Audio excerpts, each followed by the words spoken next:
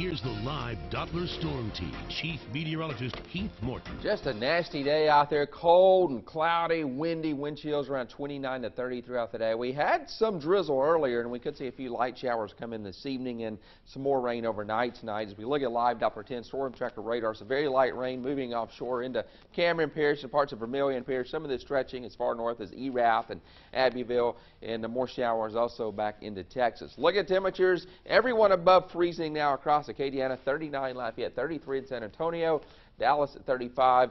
It could be a lot worse. Two in Minneapolis, Minnesota, Des Moines, Iowa at 3 degrees. So uh, temperatures here not looking as bad compared to there, but still, this is well below normal for this time of year. Opelousas at 37 and New Iberia at 39. We have that disturbance coming across western Texas. This has been causing freezing rain, sleet, and snow across the hill country of Texas. So that disturbance comes in overnight tonight. It's going to tap a little moisture, uh, Gulf moisture, but not enough to cause any heavy precip, but still still uh, we could see some light rain, maybe some light freezing rain after midnight. Here's future track. As we can see, it has temperatures there at midnight still above freezing across most areas. 32 in Ville Platte, that is freezing. 35 Lafayette, New Iberia 36. And then as we take it through the overnight hours, most of that precipitation staying south of I-10. It does show some sleet, maybe some freezing rain where temperatures are at 32 or below at 2.30 in the morning. But look what happens once uh, Lafayette goes to 32. Most of the precipitation is out of here, but it doesn't take a whole lot, especially on bridges and overpasses. Even drizzle can cause problems. But since yesterday we were in the mid-70s and we've been above freezing all day today, I really don't expect any uh, issues. Uh, if we do see it, it's not going to last very long. Temperatures should go back above freezing uh, by 10 o'clock. There's uh, Lafayette at 33, New Iberia at 33, Ville Platte up to 34, and maybe some sun tomorrow afternoon. We briefly get up to 40, which is a good 20 degrees below normal for this time of year. And then Friday night into early Saturday morning, temperatures down in the mid-upper 20s. Here's the GFS model looking at a different model here. You can see it does bring in some of that light mixed precipitation.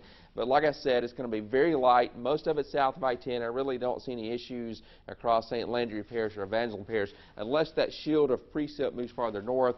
Even if it does, we're not going to see a whole lot of it by tomorrow afternoon. All of that is out of here. I think the bigger concern is going to be that wind chill tomorrow morning. Those winds will be out of the northeast at 15 to 20 miles per hour, and then through the day tomorrow, north winds at 10 to 20, and we're talking about a wind chill tomorrow night back down in the lower to mid 20s. So definitely bundle up over the next couple of days and the next couple of nights. Saturday afternoon, we're back up to 50 with some sunshine, but still a north wind at about 10 to 15. Here's the wind chill early tomorrow morning. We're going to see that in the lower 20s. 21 Opelousas, Lafayette at 23. So bundle up.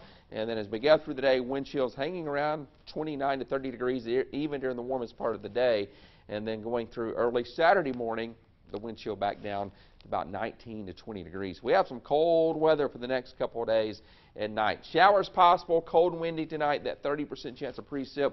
Could see some light freezing rain or sleet mixed in, not expecting any snow. 41 cloudy, breezy, cold tomorrow, 41 for a high.